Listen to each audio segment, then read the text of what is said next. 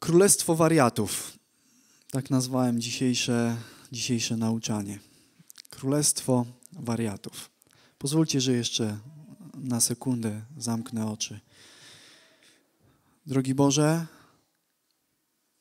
dziękuję Tobie za to, że działasz w naszym życiu. Za to, że Twój święty duch, który mieszka w naszych ciałach, powoduje, że słowa, które wypowiadamy, stają się rzeczywistością. Żyjemy w czasie znaków i cudów, widzeń, i to tylko dzięki Tobie, drogi Boże. Uczymy się nakładać maść Ducha Świętego na nasze oczy i coraz więcej widzimy. Chwała niech Ci będzie. Dziękujemy za Twoją niesamowitą miłość i radość, którą dajesz w chodzeniu z Tobą. Amen. Zawsze mamy intro, takie, taką wejściówkę przed nabożeństwem, kiedy ten ludzik idzie. Nie wiem, czy kojarzycie. On tak idzie i wtedy jest pieśń z pewnym tekstem. I dzisiaj dopiero to odkryłem, że ten tekst jest niesamowicie głęboki. Niech zobaczą Ciebie, kiedy stoję. Niech słyszą Ciebie, kiedy mówię. Niech słyszą Ciebie, kiedy śpiewam, kiedy wielbię. To jest niesamowite. Chciałbym, żebyście słyszeli głos Pana Boga, kiedy będę do Was mówił dzisiaj. Królestwo wariatów. Chciałbym, żebyśmy zaczęli od tego. To jest problem w całym chrześcijaństwie. Bo z jednej strony jesteśmy z Panem Bogiem tak bezinteresownie, chwalimy Go, uwielbiamy, Pan Bóg działa w naszym życiu, ale wiecie, i wszyscy chyba to czują na swoich barkach, ja to czuję, czułem od zawsze, no bo są przecież teksty, które mówią o tym, idźcie i czyńcie uczniami wszystkie narody, prawda? Idźcie i w znakach i cudach ogłaszajcie moje królestwo. Posyłam was wszędzie po dwie osoby i y, mówcie o, o, o mojej wielkości. I nie wiem jak wy, ale ja od zawsze przytaknijcie, jeżeli wy też. Ja od zawsze czułem tego wagę, ciężar. Bo czy chce człowiek, czy nie chce, to gdzieś tak przygina, jak ktoś daje zadanie do zrealizowania. Czujecie to? I wtedy zaczynamy mówić, a powinniśmy głosić, a nie głosimy, powinniśmy mówić, a nie mówimy E, a jak już to robimy, to nie tak, jakbyśmy chcieli. Czasami mamy porażki, bo słyszymy głos Ducha Świętego, który mówi pomódl się, który mówi powiedz, który mówi pomóż, a my, a nie wypada, nie w pracy, nie teraz, później. A jednocześnie cały czas kornik w naszej głowie. Lubię ten obrazek z takiej bajki, kiedyś yy, konik polny chyba siadał i podpowiadał coś do ucha. Powinieneś, musisz. Przytaknijcie, czujecie to czasami czy nie? No pewnie, że tak, pewnie, że tak. I Biblia wcale nie pomaga, powiem wam. Bo są teksty, są fragmenty w Biblii, które dodatkowo potęgują poczucie niezrealizowania, poczucie beznadziejności i naszego nieprzygotowania do dzieła, do którego wysyła nas Pan Bóg. Jeszcze na dodatek nie widzimy rzeczy, które powinny nam towarzyszyć w momencie, kiedy idziemy i głosimy. Wybrałem takie dwa fragmenty, które e, normalnego człowieka potrafią doprowadzić do depresji. Otwórzcie Ewangelię Mateusza, 10 rozdział.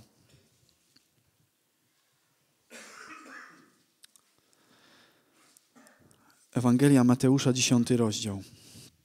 I tam od 34 wiersza taki fragment chcę przeczytać. Nie mniemajcie, że przyszedłem przynieść pokój na ziemię, nie przyszedłem przynieść pokój, ale miecz. Jezus mówi, bo przyszedłem poróżnić człowieka z jego ojca i córkę z jej matką i synową z jej teściową. Tak to staną się wrogami człowieka domownicy jego. Kto miłuje ojca albo matkę bardziej niż mnie, nie jest mnie godzien. I kto miłuje syna albo córkę bardziej niż mnie, nie jest mnie godzien. I kto nie bierze krzyża swego i nie idzie za mną, nie jest mnie godzien. Kto stara się zachować życie, straci je. Kto straci życie, zachowa bo mm, dla mnie znajdzie, przepraszam, jeszcze raz, kto stara się zachować życie, straci je, a kto straci życie swoje, dla mnie znajdzie je. Kto was przyjmuje i tak dalej. Czujecie się dobrze po takich słowach? Ja, ja bardzo. Przyszedłem przynieść miecz, a nie pokój, mówi Jezus. I teraz w zestawieniu dla mnie z tym, co gdzieś tam przeżywam. Idźcie, czyńcie uczniami, uzdrawiajcie w, w znakach i cudach, mówcie o moim królestwie, yy, wskrzeszajcie zmarłych. Nie, to, to już nie, to za dużo. Yy, mówcie o mnie. I ten ciężar jest coraz większy. Jeszcze czytamy takie słowa, nie przyszedłem przynieść pokój, ale miecz na ziemię. Będzie niepokój, będzie kłótnia. Yy, nie wiem, czy ten mechanizm jest taki rozpowszechniony, ale gdzieś u mnie kiedyś podświadomie on działał w ten sposób, skoro jest wszystko dobrze w moim domu, z moją teściową żyję jako tako, z ludźmi też udaje mi się czasami się uśmiechnąć, chociaż rzadko to robię, to chyba nie, nie jestem dobrym pracownikiem, bo Jezus mówi, takie rzeczy będą towarzyszyć. Łukasza 9 rozdział, drugi fragment.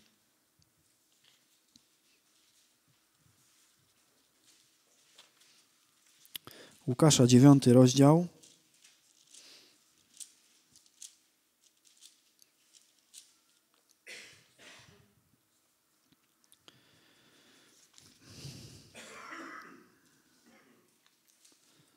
I wtedy i teraz się zrobi jeszcze gorzej. Nie, nie, ten jest dobry. Od 57 wiersza. Gdy tedy szli drogą, Jezus ze swoimi uczniami, ktoś, do nie, e, ktoś rzekł do Niego, pójdę za Tobą, dokądkolwiek pójdziesz. Deklaracja? Dobra, nie? A Jezus rzekł do niego, lisy mają jamy, a ptaki niebieskie gniazda, lecz Syn Człowieczy nie ma, gdzie by głowę skłonił. Do drugiego zaś rzekł, pójdź za mną. Jezus teraz się zwraca, pójdź za mną. A on rzekł, pozwól mi najpierw odejść i pogrzebać ojca mego. Odrzekł mu, niech umarli grzebem umarłych swoich, lecz ty idź i głoś Królestwo Boże. Powiedział mu inny, pójdę za tobą, panie, pierwej jednak pozwól mi pożegnać się z tymi, którzy są w domu moim. A Jezus rzekł do niego, Żaden, który przyłoży rękę do pługa i ogląda się wstecz, nie nadaje się do Królestwa Bożego.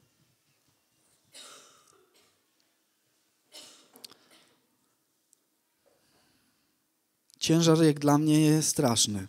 Znaczy już dzisiaj nie, bo coś odkryłem. Ale nie powiecie mi, że można nad tym przejść do porządku dziennego, nie mając chociaż minimum złego, samego, złego samopoczucia. A teraz spróbuję to wszystko naprawić, co się zniszczyło. Na samym początku istnienia Ziemi Pan Bóg powiedział w niebie: Uczyńmy człowieka na obraz nasz.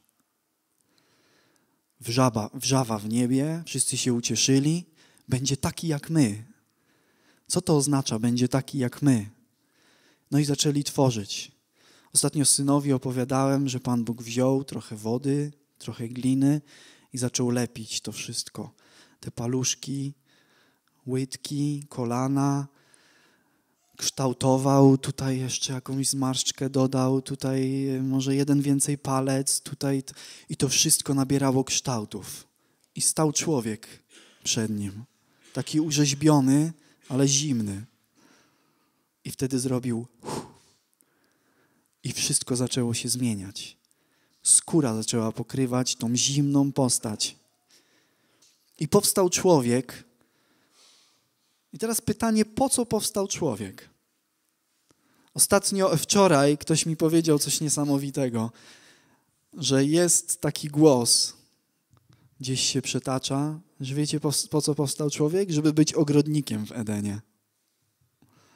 Tak? Bo dostaliśmy takie zlecenie, dostał Adam takie zlecenie, opiekuj się tym miejscem. Opiekuj się tym miejscem. Przycinaj krzewy, tutaj przesadzaj tą marcheweczki, buraczki, to wszystko, nazywaj wszystkie imiona i czuj się odpowiedzialny za to, co ciebie otacza. Zadanie, tak? Praca, coś do wykonania. I teraz Adam pierwsze co otworzył oczy, zobaczył wszystko, co go otacza, a Pan Bóg mówi: rób. No to co Adam? Zaczął się przyginać, bo to ciężkie jest przecież. Nie. Gdzieś jest napisane: Moje jarzmo jest lekkie. I nikt inny jak Adam nie odczuł lekkości Bożego zadania, Bożej misji. Mówi: czuj się odpowiedzialny, pielęgnuj, rób co trzeba. Czy Adamowi to sprawiało jakąś, jakiś ciężar? No, dopóki nie miał Ewy, tak. tak. Dopóki nie miał Ewy, to się męczył. Mówi, po co ja to wszystko robię? Po co te marcheweczki są takie piękne? I wtedy Pan Bóg pokazał mu, że z kimś jest lepiej. Pan Bóg stworzył człowieka, stworzył Adama nie dlatego, że chciał, żeby był ogrodnikiem.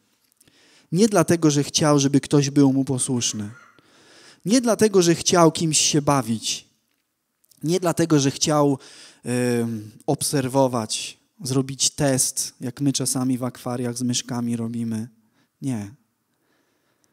Pan Bóg stworzył człowieka, bo kocha i stworzył go takiego, jak on jest, czyli jakiego? Kochającego. I stworzyła się niesamowita miłość Boga do człowieka i człowieka do Boga. Adam chodził po Edenie i widział wszystko, co zostało stworzone. To było tak piękne i niesamowite, i tak z niego wylewała się miłość, która z powrotem się wlewała, bo Bóg mu ją dawał, że to, co robił, było banalnie proste. Te marchewki, rzodkiewki, drzewa, nazywanie zwierząt. Mój syn się śmiał strasznie, jak mu opowiadałem. Mówi, mówię, Adam idzie po, e, e, po raju i patrzy, takie pokraczne, długie nogi, taki korpus jakoś, szyja taka, która wystaje ponad drzewa i tak stoi i drapie się w głowie. Ty się będziesz nazywała Ży... Ży... A on, żyrafa. Mówię wam, tak się śmiał i powtarzałem mu wszystkie zwierzęta i w końcu mówię, przyszedł do takiego kudłatego z pazurami i mówię, ty będziesz się nazywał? Nie, ty nie. Może nie. Może nie, też nie. Może nie, niedźwiedź. I on po prostu się sikał na łóżku, bo tak się śmiał z tego. To była przyjemność dla Adama, tak? Zadanie, jarzmo, cel, realizacja, które są lekkie. Dlaczego? Bo Pan Bóg stworzył człowieka dlatego, że go kocha. Człowiek jest taki sam jak on i też kocha. A wtedy rzeczy wypływają samoistnie.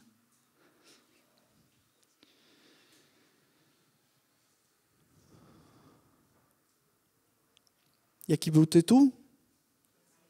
Królestwo wariatów. Pan Bóg tworzy i powołuje do swojego dzieła wariatów. Nie ludzi, którzy są działaczami.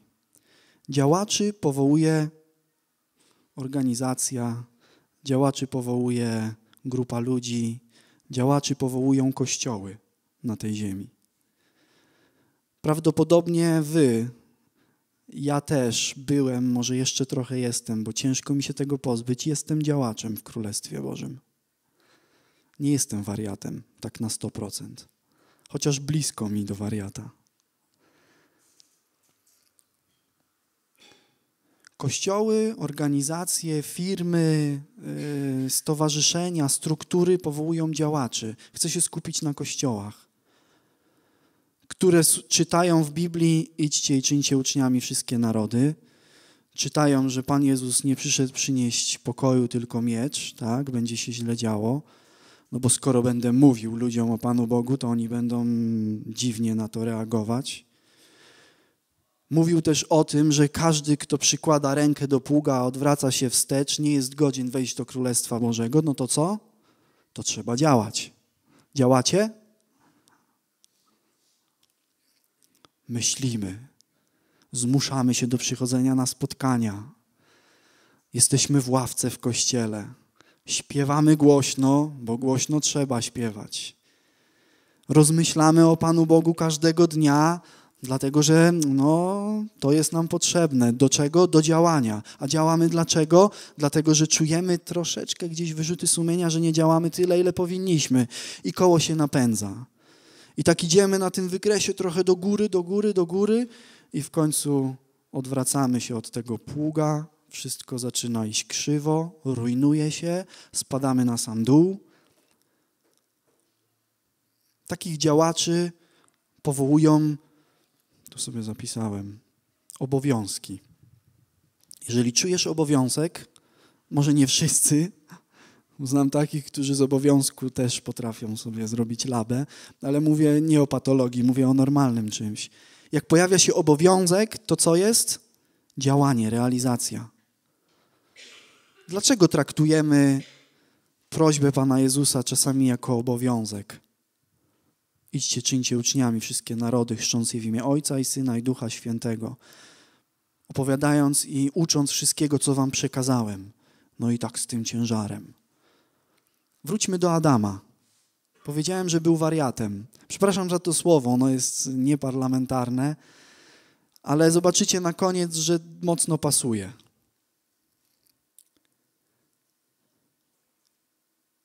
Takim haczykiem, który spowodował, że Adam opiekował się Edenem, było co? Zadanie? Bo już to mówiłem wcześniej. Nie. Haczykiem i sygnałem dla Adama, żeby robił to, co robił, była miłość. Miłość. Obowiązek powołuje działaczy, a miłość powołuje wariatów w Królestwie Bożym.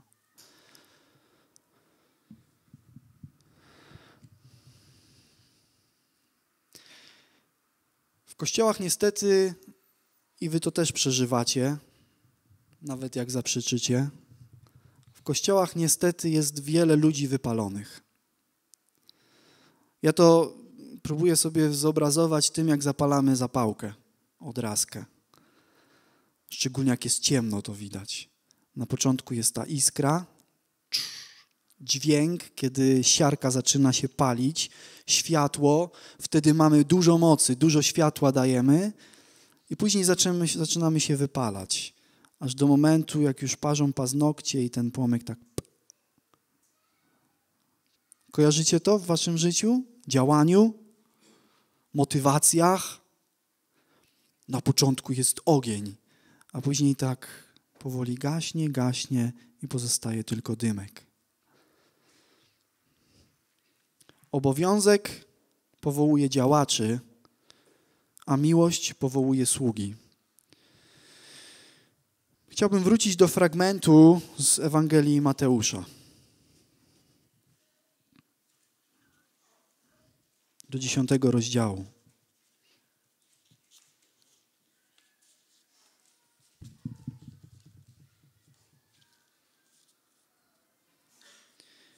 Nie wiem dlaczego ten fragment zawsze w moim życiu odczytywałem w kontekście obowiązku.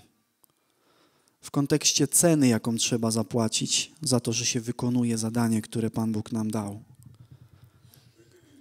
Nie mniemajcie, że przyszedłem przynieść pokój na ziemię. Nie przyszedłem przynieść pokój, ale miecz. I później wymienia. Parę rzeczy się zgadza, bo na przykład yy, poróżnić synową z teściową to się zgadza, nie? Przyszedłem człowieka poróżnić z jego ojcem, córkę z jej matką.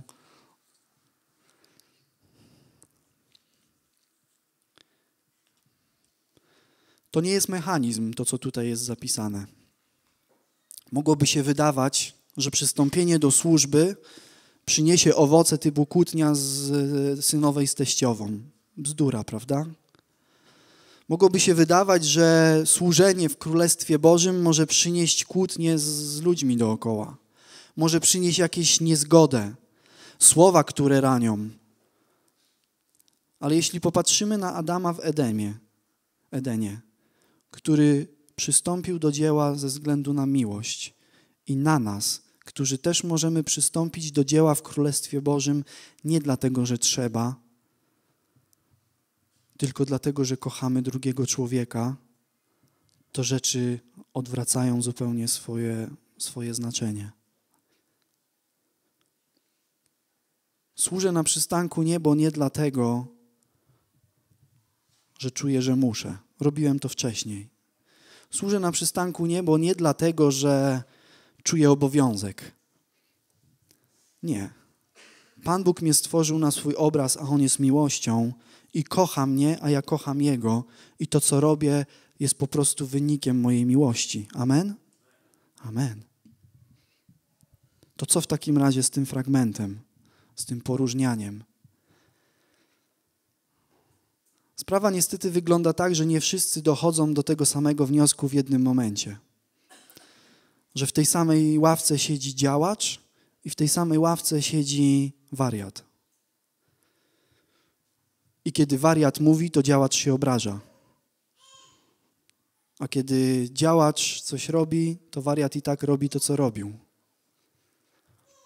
I wtedy teściowa kłóci się ze swoją synową. Rozumiecie?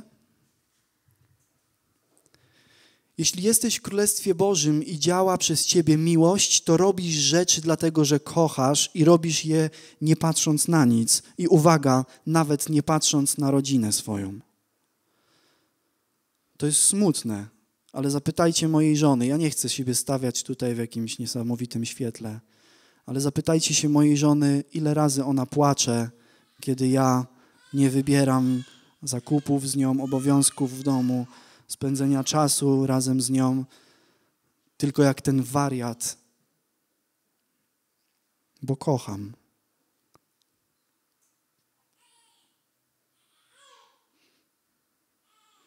Ile razy miałem spór z ludźmi, którzy nie rozumieli mnie i was też będą nie rozumieli. Nie dlatego, że robicie coś źle, tylko dlatego, że robicie coś, do czego Pan Bóg was powołał. Powołał do was do konkretnej rzeczy. Przez Jego miłość, a wtedy nic się nie liczy, tylko idziecie do przodu. Kim jesteście? Wariatami w Królestwie Bożym. Nie działaczami, że tak trzeba, jeszcze politycznie poprawnie. Ja nie chcę usprawiedliwiać jakichś ludzkich brudów nie chcę usprawiedliwiać paskudnych charakterów, które mamy niestety. Ale chcę Wam powiedzieć, że ten fragment Jezus mówi z miłości do nas. Mówi: Pokochasz mnie tak, jak ja Ciebie pokochałem. Zaczniesz działać w moim królestwie i uważaj. Na co uważaj? Ludzie nie będą Ciebie rozumieli. Będą mówili, że idziesz po trupach, że jesteś opryskliwy, zły, Dlaczego? Dlatego, że może nie dorośli do tego samego momentu, może są na innym etapie, nie martw się tym, nie oceniaj ich źle, nie traktuj ich tak, jakby byli kimś mniejszym, gorszym. Tak po prostu będzie.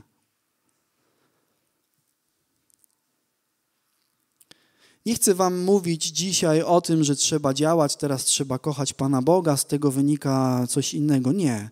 Ja bym chciał, żeby dzisiaj zostało w Waszych sercach jedna rzecz miłość powoduje szaleństwo. Zgadzacie się z tym? Tak. Miłość powoduje szaleństwo i nikt, kto jest dookoła was, tego nie zrozumie. W Królestwie Bożym miłość do Boga i odwrotnie miłość do Boga powoduje szaleństwo i nikt, kto jest dookoła was, tego nie zrozumie. I każdy będzie to przechodził. Nawet jak usiądą koło siebie na ławce, usiądzie koło siebie na ławce dwóch wariatów to tak jak Paweł z Barnabą pokłócą się w końcu i odejdą. Dlaczego? O. Dlatego, że pokłócą się i pójdą swoją drogą, dlatego, że jest wyższy cel.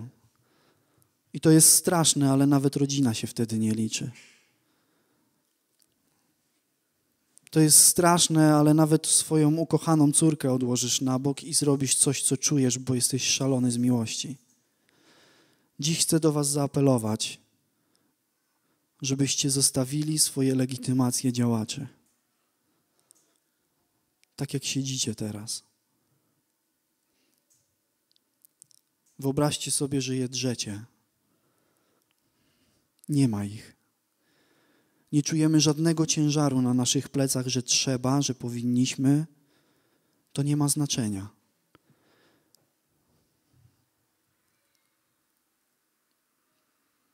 Jaki jest pierwszy krok? Pan Bóg Cię kocha. Ty pokochaj Jego, a zobaczysz, że moje jarzmo jest jakie? Lekkie. I nigdy inaczej. Nakładamy na swoje plecy zadania i realizujemy go, je w pocie czoła. A Adam w raju realizował zadania bez potu na czole. Tak? Jeżeli realizujemy zadania w Królestwie Bożym, to tak jakbyśmy byli w raju, po prostu robimy to z przyjemności. I Jezus, kochając swoich uczniów, mówi im: Słuchajcie, błagam was, pamiętajcie, że przyjdą momenty, kiedy nikt was nie będzie rozumiał. Będziecie wariatami dla otoczenia. Pokłócicie się ze swoim mężem, ze swoją przyjaciółką, nie będą was rozumieli w pracy i w sklepie staniecie na rękach i wszyscy będą się z was śmiali. Wczoraj usłyszałem historię, która mnie rozłożyła na łopatki. Pewna kobieta w sklepie stała i słyszała cały czas głos w swojej głowie: Stań na rękach, w kolejce. Stań na rękach, teraz. No stań na rękach. Kto to był? Wariatka. Stań na rękach. Stanęła na rękach, wszyscy zaczęli na nią patrzeć. Stanęła do kolejki, podeszła do kasy, a kasjer zaczął płakać. Bo mówi, że właśnie się modlił. Boże, jeżeli chcesz zadziałać w moim życiu, to spraw, żeby ktoś w tym sklepie teraz stanął na rękach.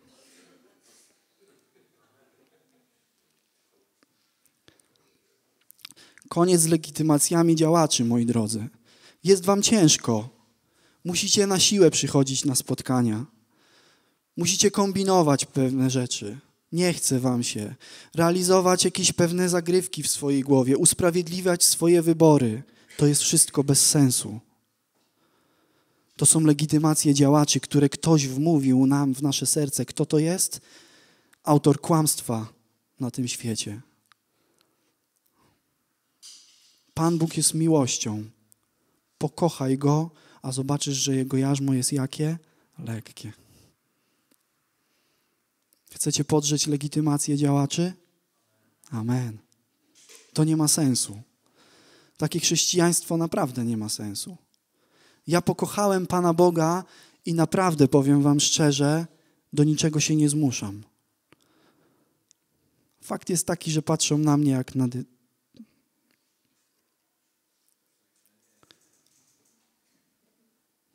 To jest koszt, ale koszt jest niewielki. Staję na rękach w sklepie. Nie poświęcam tyle czasu, ile bym chciał rodzinie. Próbuję, kombinuję,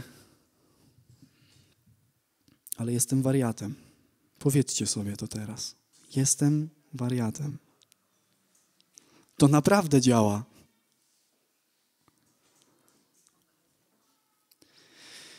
Błagam Was, nie wynieście dzisiaj obowiązków. Bo można znowu zacząć się katować, że ojeny, a teraz jak nie pokocham, no to. A jak pokocham za mało, to nawet jak się z kimś pokłócę, to będę znowu nieszczęśliwa. To znaczy, że za mało kocham. I znowu ta maszyna zacznie się napędzać. Nie, stop. Pan Bóg będzie Was prowadził.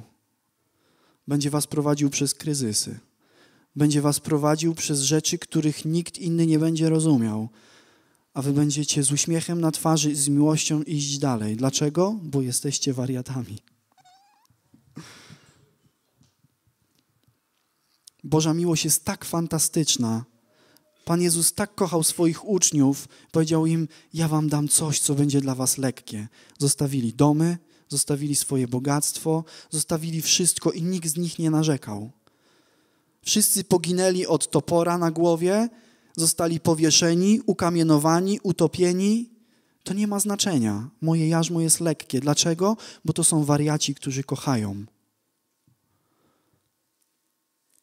I Jezus mówił: Takie rzeczy będą na was przychodzić.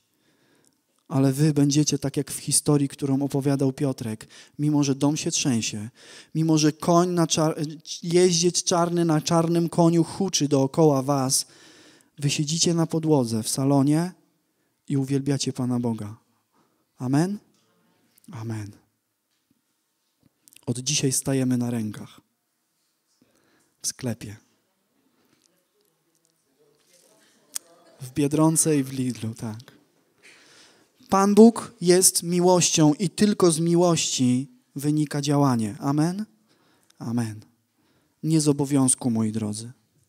Ja wiem, że teraz przystanek przysiądzie trochę, dlatego że wszyscy obowiązkowicze powiedzą: OK, trudno,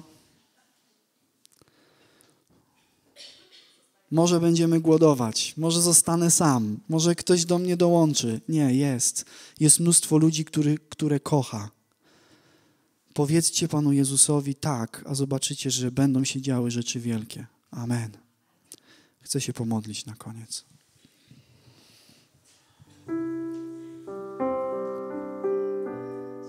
Drogi Boże, pozbywamy się ciężarów.